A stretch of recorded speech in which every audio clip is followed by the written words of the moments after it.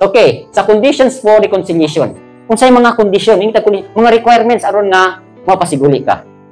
Kini sa Genesis 45 1 to 15 aron makuha gid nato unsa gyud mga uh, ipakita ani nga mga condition.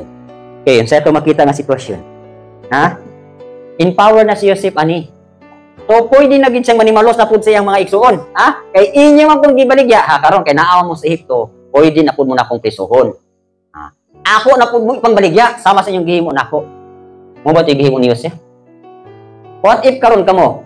Ha? Karon tinamay pa mo sa inyong parinti. What if karon og padato mong abay lihim? Ha? Abundant blessings na ninyo.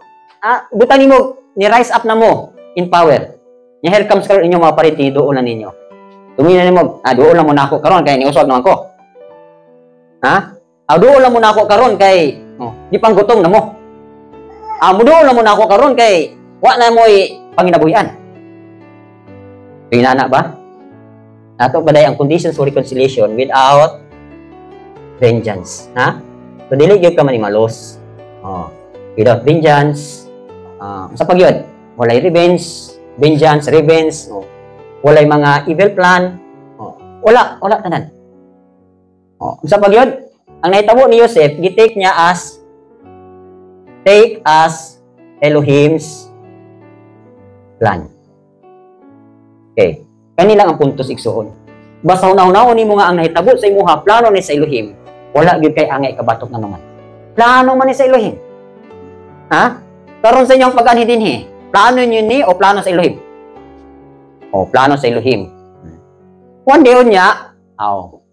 Parehas na niya mong Yosef. Ay, nara ba tayo Yosef oh? Without vengeance, oh, take the situation as Elohim's plan. Ha? Plano ni tanan sa Elohim. Una-unaon ninyo.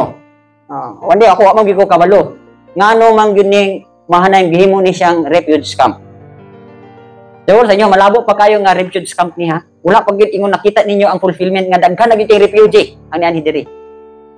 Wandi unya ang inyo nang parente mo na mo refuge dinhi.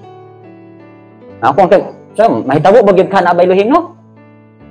Ah, pila ray pag isa ra kas click sa Elohim, nagaya na ning kampo. Ha? Makapakaon na gitagdaghan. Nakabalo sa malabot na sitwasyon. Ayaw mo pag-una nga kanira gid inani ra kita. Ah, karon lang ako manggali nga siyempre kita magigibinan ani nga trabaho. Hayag-hayag na gid sa kuha nga na nagi fulfillment. Nakita na gid ako ang mga plano-plano ba nga pagkanindot dahil og moabot na ni panahon no nga wala na undang sa atong abot sa yuta. Atong mga prutas grabe na kaayo kadagan, bugas, isda, manok, pagkadaghan na. Hmm. So, naa na gini fulfillment. Hmm. So, naa na kita na ko naa na fulfillment. Oh. Ngunit padulong na gyud sa kadagaya ni. Sa sa magpabilin lang, aw oh, bulahan. So, katong mga katrason na, una-unaan ninyo ha.